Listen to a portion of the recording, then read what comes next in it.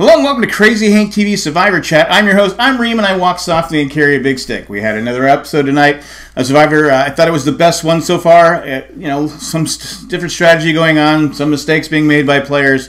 Uh, we did find out I have five hot takes. The first one is Keith makes the right decision. He stays in the game. Nobody likes a quitter. I don't know how long he'll stay in the game after that because it seems like they're in a, it seems like they're having it pretty rough. So him and Reem, they find it. They get maps to the food or to a little bit of rice, and it doesn't seem like we didn't see how much the rice was there, but it doesn't seem like a lot according to Reem. Will they stay in the game? Will they raise the flag to, you know, say, okay, I've had enough? And who's I, am we're guessing who's ever the last one there gets back in the game. We'll go go with that. Uh, we had number two, uh, Manu wins a challenge. Hey, happy for them! They won the reward challenge, and they won chickens, which comes into play later on with Wendy and Mad Dog and everybody. Oh, I'm sorry, War Dog, not Mad Dog. um, and then we have uh, Aubry looking for an idol, which is always fun to watch uh, contestants look for an idol. But she found, finds the idol and she cries because that's on her bucket list. And congrats to Aubry. She needed to find the idol. She found the idol. Kudos to her. Then we go to the immunity challenge, and, and Manu is way up in front. And yet they get to the one part where they're trying to do the puzzle, the wheel puzzle, and they, they're not communicating. They're getting frustrated. Uh, Wentworth looked like she was going to kill somebody. Uh, but Manu came back won, and they win immunity again. So, you know, we they, they have to go home. Someone's going to have to go home.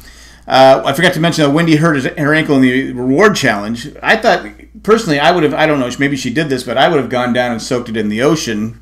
Get some. I'm sure the water's pretty cool. Take some of the swelling down, but she got wrapped up and she stayed in the game. Good for her. And she was great in the uh, immunity challenge. She was swimming and having no problems. But her and the chickens, um, you know, I, I, get it. You don't want to get the chickens, but why? Would, you're there to win a million dollars. You're there to win the game. Why make such a big deal about the chickens when you eat chickens? You know, you're you're you're a, you're a chicken eater on on when in the real in real life. But again, I, I'm not there. I'm not playing the game. I, I don't know. I'd have trouble killing the chicken, but I probably would eat the chicken. I mean, i am a hypocrite. But anyway, she took the flint, hid the flint from everybody which I thought was a mistake, but she got away with it. So, so far, she's gotten away with it, but it didn't work. They were able to start the fire anyway without her.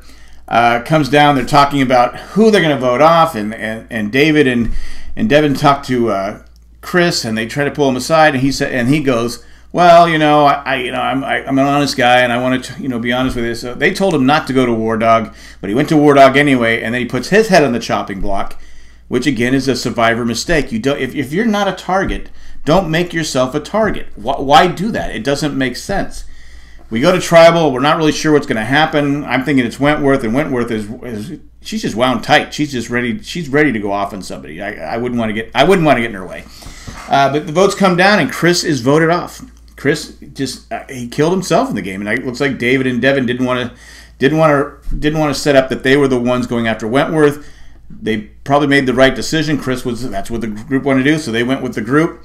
Uh, Wentworth survives again.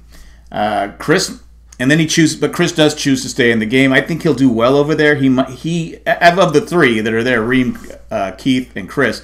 I think Chris has the best chance of getting back in the game, uh, just just based on, based on survival skills or something like that.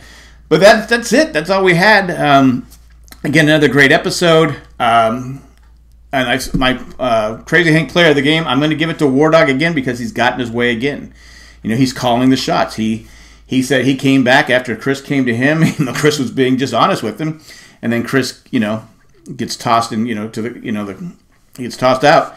But that's all I got. But I did have, well, we did have some feedback last week on my little rant about, you know, searching for the survivors. And Jonathan Sherby had a great, I thought, a great idea. How about if the viewers, us viewers, don't know who has an idol? So, like Aubry found an idol, but we don't know it. So when it's played, we're in shock. We don't know who has the idols, and I thought that was a fantastic idea.